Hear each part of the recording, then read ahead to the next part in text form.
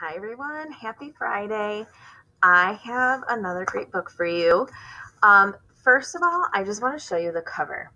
So, I think you're probably wondering, like, why? It's a girl with a sunset. You see the title, you see the author's name. The title's Brown Girl Dreaming, by the way, by Jacqueline Woodson. But what I really want to point out are these things. So, it's a National Book Award winner, it's a Newbery Award winner. So, Newbery is um, for novels. It's a really big award that not that um, children's literature gets, kind of like a Caldecott for picture books. Um, and then it's also the Nonviolent Social Change winner. Oh, the Coretta Scott King Award winner as well. So three awards this book has gotten. So that tells us it's pretty special, right? Like that's what I think. Um, so, Jacqueline Woodson is the author, and she's also the author of a picture book called The Other Side, which you may, your teacher may have read to you before. She's written lots of different books. Um, I read this over the summer, loved it. Loved it. One of the things I like about um, Brown Girl Dreaming is the way that it's written. So, I'm just going to show you. Um, it's written in prose, so like short line poem poems but not rhyming poems, right? So it's written like that. Um, very similar to um, teachers, if you've ever read Inside Out and Back Again, very, written very similar style to that. So um, that's um, one really great thing about it. So uh, kind of like um, Katherine Applegate does with the one and only Bob and the one and only Ivan each like this is a chapter. So i'm going to read a few pages so you can get an idea of, of the story a little bit and the background. I have read that this is based on her life and her her um, family just so that you know the author's family. So it's a bit of a memoir too which is also interesting and fun. So here we go. Chapter well this this section's called a girl named jack Good enough name for me, my father said the day I was born. Don't see why she can't have it too. But the women said no. My mother first, then each aunt, pulling my pink blanket back, patting the crop of thick curls, tugging at my new toes, touching my cheeks. We won't have a girl named Jack, my mother said. And my father's sisters whispered, A boy named Jack was bad enough. But only so my mother could hear. Name a girl Jack, my father said, and she can't help but grow up strong. Raise her right, my father said, and she'll make that name her own. Name a girl, Jack, and people will look at her twice, my father said. For no good reason but to ask if her parents were crazy, my mother said. It went back and forth, and back it and back and forth it went until I was Jackie, and my father left the hospital mad. My mother said to my aunts, "Hand me that pen." Wrote Jacqueline where it asked for a name. Jacqueline, just in case someone thought to drop the IE. Jacqueline, just in case I grew up and wanted something a little bit longer and further away from Jack. The next one's called The Woodsons of Ohio. My father's family can trace their history back to Thomas Woodson of Chillicothe, said to be the first son of Thomas Jefferson and Sally Hemings, some say. This isn't so, but the Woodsons of Ohio know what the Woodsons coming before them left behind in Bibles and stories, in history coming down through time. So, Ask any Woodson why you can't go down the Woodson line without finding doctors and lawyers and teachers, athletes and scholars and people in government, they'll say. We had a head start. They'll say Thomas Woodson expected the best of us.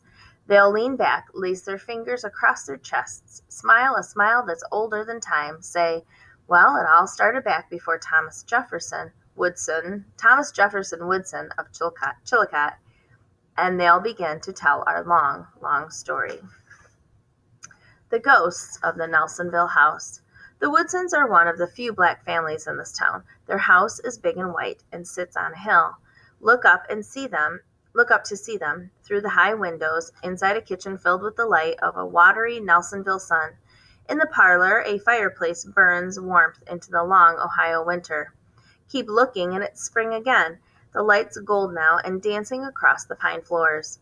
Once there were so many children here, running through this house, up and down the stairs, hiding under beds and in trunks, sneaking into the kitchen for tiny pieces of icebox cake, cold fried chicken, thick slices of their mother's honey ham. Once my father was a baby here, and then he was a boy, but that was a long time ago.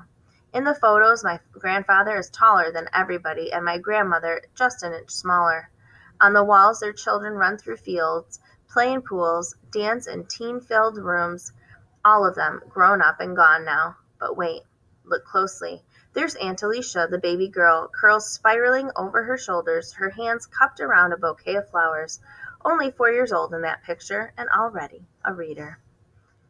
Beside Alicia, another picture. My father, Jack, the oldest boy, eight years old and mad about something.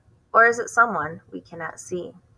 In another picture, my Uncle Woody, baby boy, laughing and pointing, the Nelsonville house behind him, and maybe my, his brother at the end of his pointed finger. My Aunt Anne in her nurse's uniform, my Aunt Ada in her university sweater, Buckeye to the bone. The children of hope and grace. Look closely. There I am in the furrow of Jack's brow, in the slyness of Alicia's smile, in the bend of Grace's hand. There I am, beginning. It'll be scary sometimes. My great great grandfather on my father's side was born free in Ohio, 1832. Built his home and farmed his land, then dug for coal when the farming wasn't enough, fought hard in the war, his name in stone now on the Civil War Memorial. William J. Woodson, United States Colored Troops, Union, Company B, 5th Regiment. A long time dead, but living still among the other soldiers on that mount, monument in Washington, D.C. His son was sent to Nelsonville, lived with an aunt, William Woodson, the only brown boy in an all white school. You'll face this in your life someday, my mother will tell us over and over again. A moment when you walk into a room and there is no one like you. It'll be scary sometimes, but think of William Woodson and you'll be all right. Football dreams. No one was faster than my father on the football field. No one could keep him from crossing the line, then touching down again. Coaches were watching the way he moved, his easy stride, his long arms reaching up, snatching the ball from its soft pocket of air. My father dreamed of football dreams and woke to a scholarship at Ohio State University. Grown now, living the big city life in Columbus, just 60 miles from Nelsonville, and from there, Interstate 70 could get you on your way west to Chicago. Interstate 77 could take you south. But my father said no colored Buckeye in his right mind would ever want to go there. From Columbus, my father said, you could go just about anywhere. And I'm going to stop right there. So, that is the beginning of Brown Girl Dreaming.